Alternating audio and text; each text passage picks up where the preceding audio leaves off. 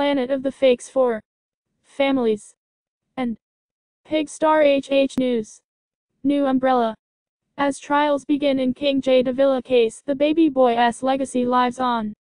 Community efforts to prevent future tragedies and support survivors are out there. San Antonio trials are expected to begin this week for the three people accused of staging a kidnapping to cover up the death of baby King Jay. Davila.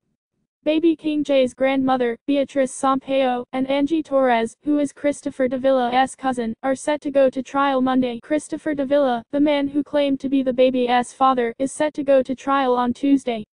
The three are accused of staging the baby's kidnapping to cover up his death.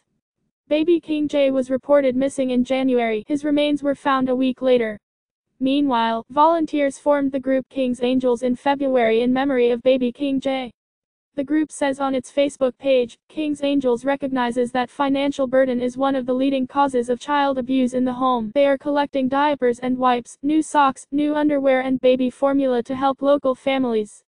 If you can donate to King's Closet, you can message them on their Facebook page to schedule a time to drop off at their office, which is located at 1445 Austin Highway. There is also a local group open to all families and friends of those who have died by violence.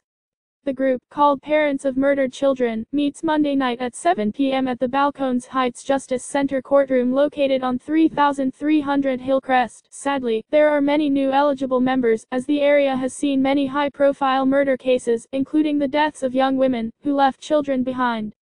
The meetings are free. Like, comment, follow, share, subscribe. Then visit www